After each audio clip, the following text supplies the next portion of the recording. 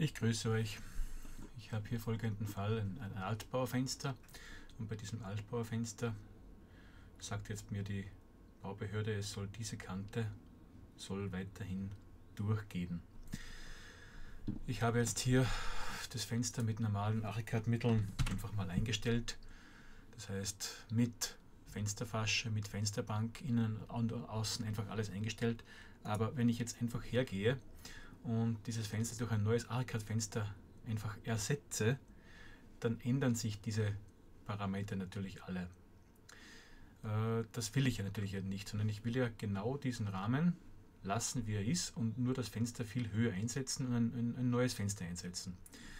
Wenn ich jetzt einfach zu zeigen, warum es geht, Steuerung Groß E, dieses Fenster mal kopiere, Steuerung H das T und hier anstatt dieses Altbaufensters ist einfach ein neues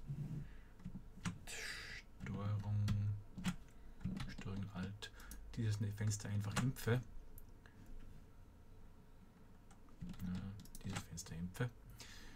Und das hier übernehme, dann habe ich zwar ein neues Fenster, das gleich aussieht, drinnen, ein Neubaufenster, aber die Höhe ist ja nicht angepasst. Das heißt, wenn ich jetzt in Schnitt, hm, dann habe ich jetzt noch nicht geöffnet,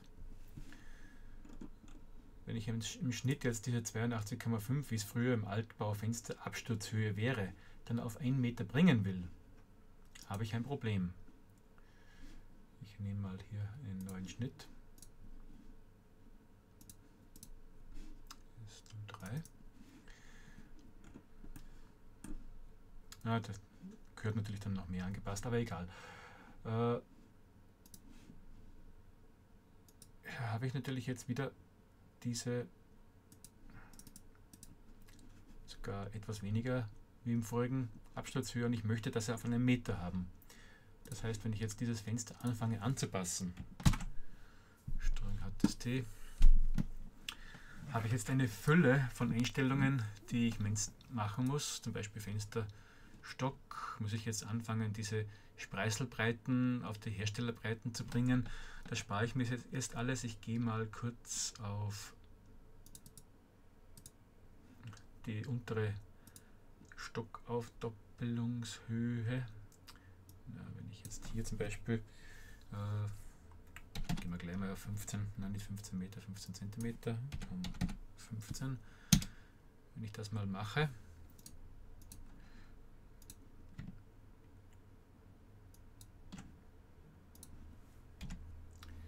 95,5 ist immer noch zu wenig.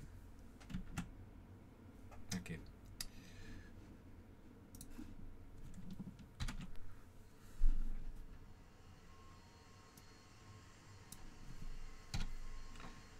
Zwei. Jetzt sollte ich vielleicht doch diese Spreißelbreiten einstellen. Hm.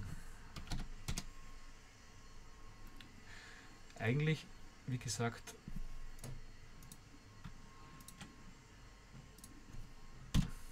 müsste es jetzt so ausschauen und natürlich die Fensterbank gehört rauf. Und diese Fensterbank gehört natürlich schräg eingestellt und runter bei rein. Das ist jetzt noch nicht so das große Problem. Steuerung hat das T. Also die Innenfensterbank nehme ich mal weg. Also bin hier nehmen wir das hier. Fensterbank innen mal raus die Fensterbank außen. Hier mit dieser Höhe hm, gehe ich mal auf 15. Okay. Hm, das hat es nicht gebracht. Steuerung das T.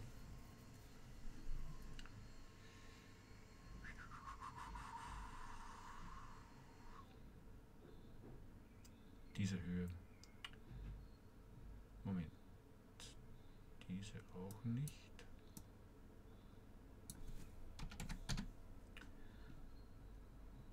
Okay. Okay. So, dann schaut das schon mal schräger aus. Wie schaut das Ganze in 3D jetzt wirklich aus?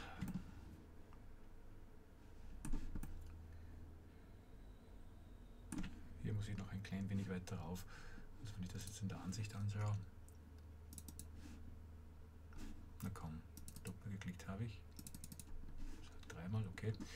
Hier die Kante muss schon noch etwas weiter rauf. Steuern das T.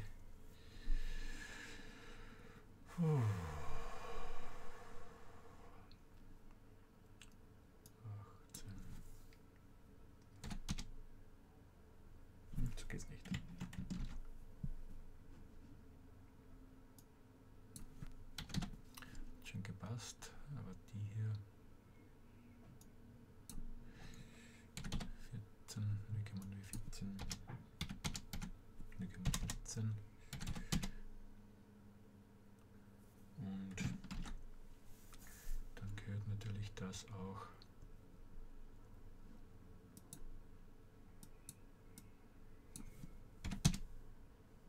hm, das ist noch nicht in Ordnung. Moment.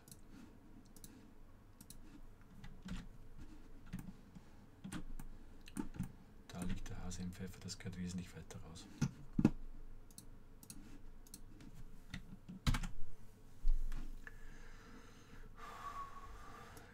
weil wie die Fasche halt draufsteht.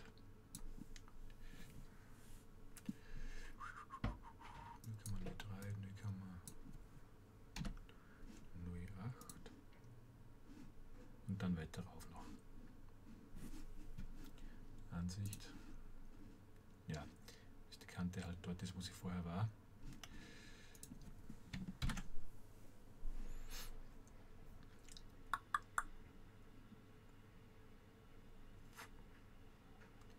passt. Und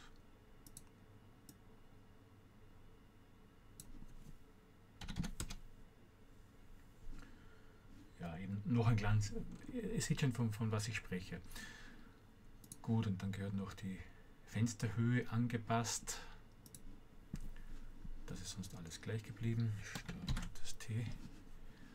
Das heißt,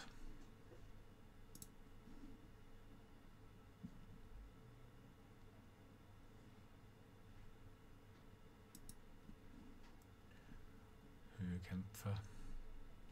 Müsste man sich jetzt ganz genau anschauen.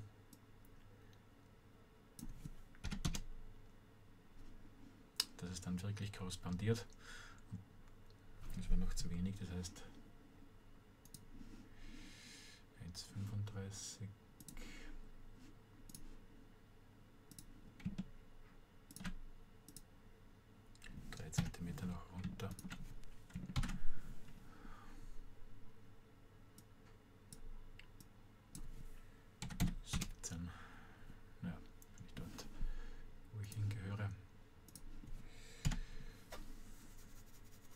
Breite des Fensters muss natürlich auch passen. Da habe ich jetzt nicht besonders aufgepasst, das ist auch klar. Ich habe hier jetzt 90, aber das stimmt eh. Gut, jetzt habe ich ein Fenster eingebaut, ein neues Fenster, wo die Absturzkante passt.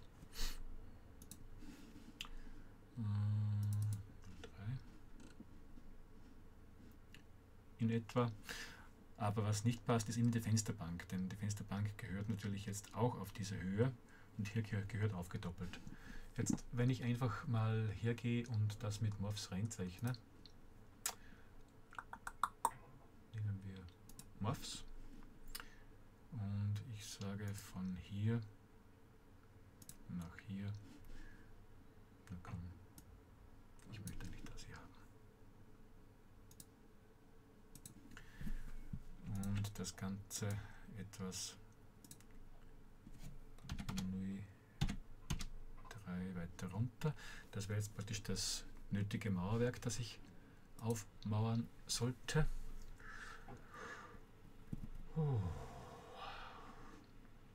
Ja, ich müsste jetzt danach suchen und oder eins machen.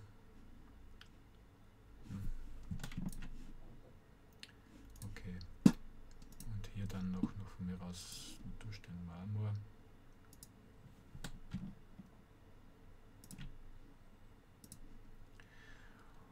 So, jetzt habe ich im Dreierschnitt in 3D Stunde 3 habe ich das jetzt hier erinnern? Wie gesagt, da habe ich jetzt die Materialität nicht angepasst. Ich kann das jetzt einfach nachfahren und hier kann ich es dann auch anpassen auf die Breite, die ich eben brauche. Damit ich dann die richtige Absturzhöhe habe. Aber es ist halt doch relativ aufwendig und wie gesagt, mit der Fensterbank bekommt man es gar nicht hin mit, dem, äh, mit, dem Fenster, mit der Fensterfunktion selber. Also mit der Innenfensterbank. Der Außenfensterbank geht es einigermaßen, aber jetzt müsste ich dann sozusagen diese Teile dann immer wieder neu reinkopieren, wo ich es brauche. Und im Grundriss habe ich dann wieder Elemente herumliegen. Äh, dieses hier, das andere erwischt, das ist das hier noch, das einfach dann irgendwie extra reingehört und nicht mehr Teil des Fensters ist. Die Fensterfaschen werden mir hier auch nicht angezeigt. Ist eben die Frage, ob man das dann nicht mit einzelnen Decken dann selber machen soll. Gut, das war es mal bisher.